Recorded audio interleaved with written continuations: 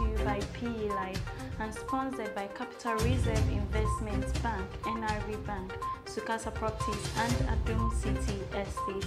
Now coming up in the headlines, Ghanaian property developers are showing that green and affordable housing is possible. The Lands Commission fined 100,000 Ghana cedis for withholding information and in international news a survey in India has shown at least 65% of women choose to invest in real estate.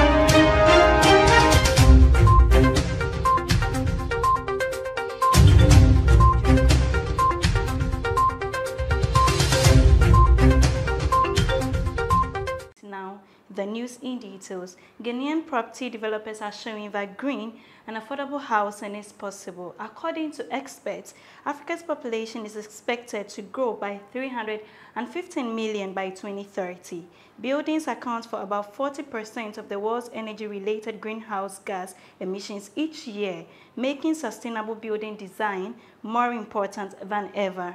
Ghana's housing deficit has exceeded his 2 million homes and integrating green building policies into affordable housing for the masses would particularly beneficial in reducing the deficit and overall global carbon footprint. Real estate developers Affair Group has partnered with REAL, a UK-based development organization supporting affordable housing in Africa and Asia to build 100 eco-friendly properties in the Lahore suburb of Tamale, the capital of the northern region of Ghana. The project includes green building measures and in April 2022, they received EDGE certification. Environmentally friendly measures such as low-flow water fixtures, compressed clay block walls, and naturally ventilated spaces enable the project to achieve a 34% improvement in energy efficiency, a 31% improvement in water efficiency, and a 56% improvement in contained energy, aiming to be in materials compared to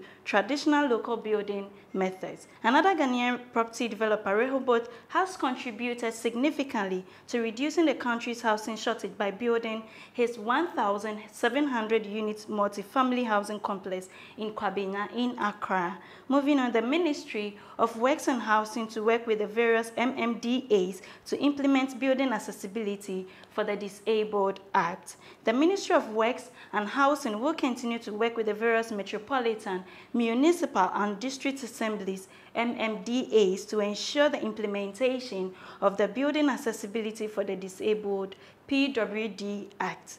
Mr. Francis Asenso Minister of Works and Housing, said that the rights of persons with disabilities under the 2006, the Persons with Disabilities Act, Act 715, also covers access to public places and public services. He noted that Section 6 of Act 715 requires the owner or occupier of a place accessible to the public to provide adequate facilities to make the place accessible to the disabled. He said this on the floor of Parliament while responding to questions from Abla Dzifa Gomashie, National Democratic Congress, NDC MP for Ketu South. Mr. Sensu stated that LI 2465 provided for the possibility for people with disabilities to use facilities and services that are open or accessible to the public. He reiterated that since 2016, many owners and users of public buildings have made efforts, particularly by installing elevators,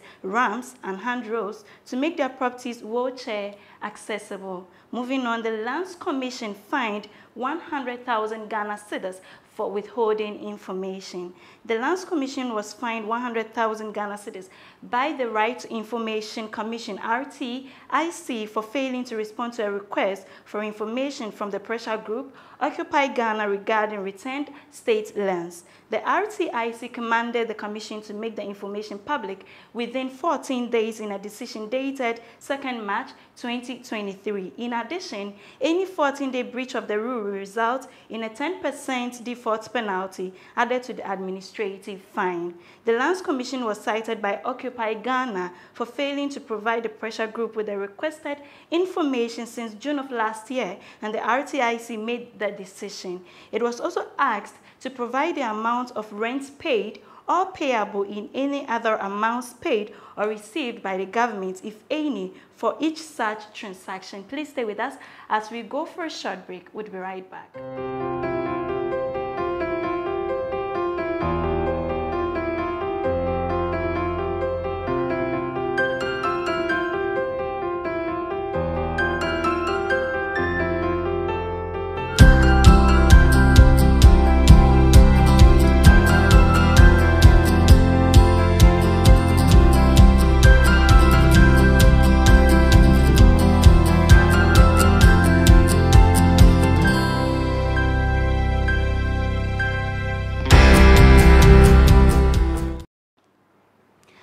Back from the break. Now let's go to India. Real estate consultant Anarock conducted a survey throughout India, which shows that 83% of women have the highest quality homes costing 90 vanishes. The consumer survey sample was 5,500, of which 50% of the respondents were women. According to the survey, at least 65% of respondents chose to invest in real estate and then 20% of the stock markets.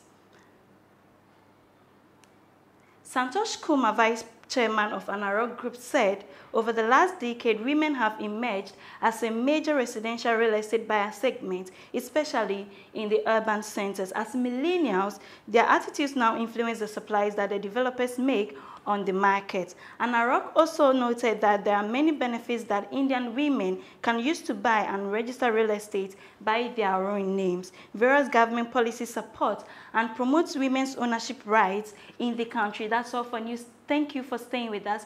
And a very big thank you to Capital Reserve Investments Bank, NRB Bank, Sukasa Properties, and Adum City Estates for sponsoring. For more news, kindly visit our website, www.propertyexpress.org. You can also reach us on social media. We're on Instagram, Facebook, LinkedIn, and Twitter at Property Express. My name is Nanaya Ochrebia, and this has been PE Live. Thank you and have a good time.